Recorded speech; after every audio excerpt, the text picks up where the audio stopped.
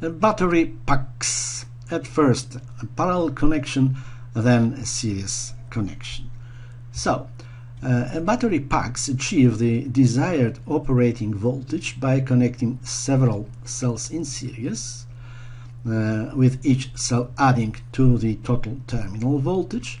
And a parallel connection attains, like we have in this exemplary problem, uh, attains higher capacity for increased current handling as each cell adds to the total current handling.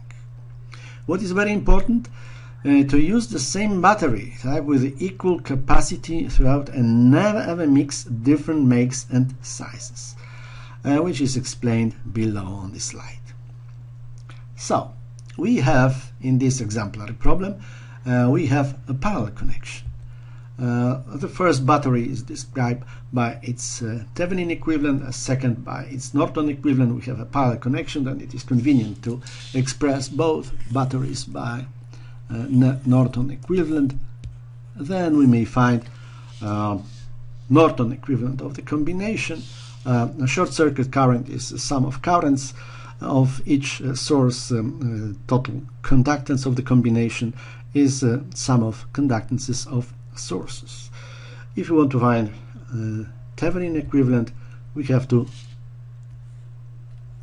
transform this Norton equivalent to Thevenin equivalent to obtain these values of uh, total uh, resistance, equivalent resistance, and total open circuit voltage.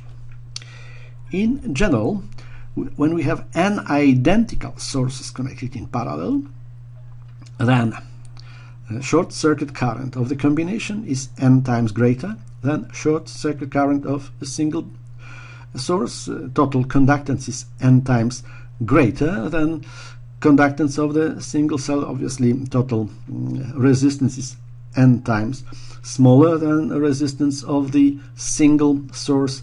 And open circuit voltage is exactly the same as open circuit voltage of single source. Now, uh, a series connection of same sources, identical sources.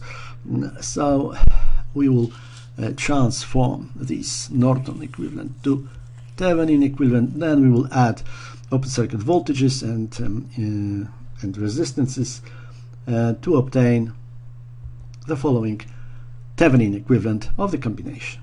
total resistance is sum of resistances of individual source sources and um, total open circuit voltage is sum of open circuit voltages of individual sources.